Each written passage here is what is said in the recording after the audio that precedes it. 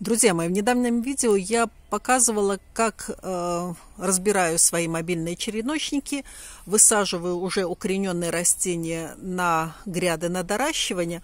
Но возникает вопрос, что делать э, с теми саженцами, которые до конца не укоренились. То есть имеют там, предположим, только зачатки калюса, корешочков нет и выбросить жалко и оставлять вот как вот здесь э, там одно-два растения на весь ящик, ходить это все поливать, э, прикрывать, занимает и место, и требует какого-то внимания. Значит, здесь э, наш, наши действия очень простые. Перебираем все, что можно с корнями, выносим, высаживаем или по горшкам, или на гряды на доращивание, как я это делаю. А все, что Э, до конца не укоренилась, но подает, как говорится, э, признаки жизни, мы просто пересаживаем э, в один наш череночник.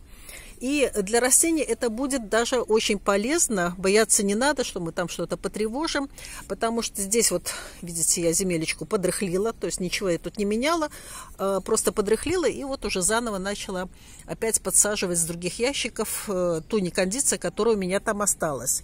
Потому что вот когда стоят достаточно длительное время и поливаем мы там слейки, земля, как говорится, утрамбовывается, э, убивается, Э, рыхлить тут ее, в общем-то, особо не будешь.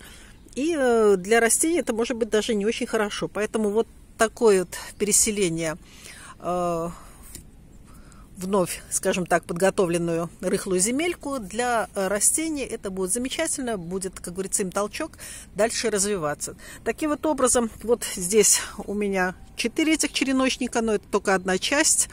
Э, то, что я вот начала разбирать, основная масса вот эти флоксы, они точно уже укоренены здесь хорошо. Э, гортензии тоже еще не ушли. Э, гвоздика еще без корней, я уверена, придется ее тоже еще на доращивание.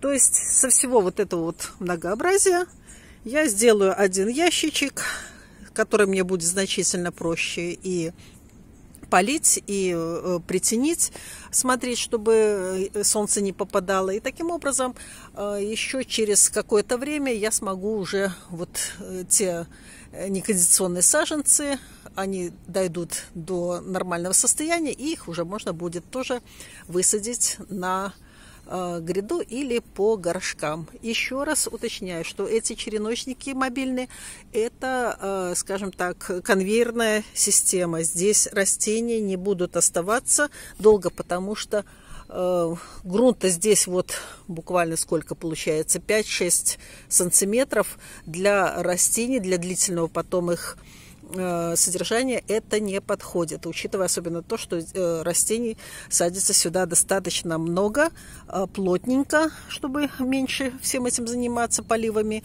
и присмотром. Поэтому это только как передержка до образования нормальных корней. Пишите в комментариях, получается ли вам у вас укоренять таким способом, который я вам предлагаю. Интересно ли это? Ну, а в ближайшее время, э, как просили в одном из комментариев, я постараюсь сделать э, ролик об укоренении лаванды.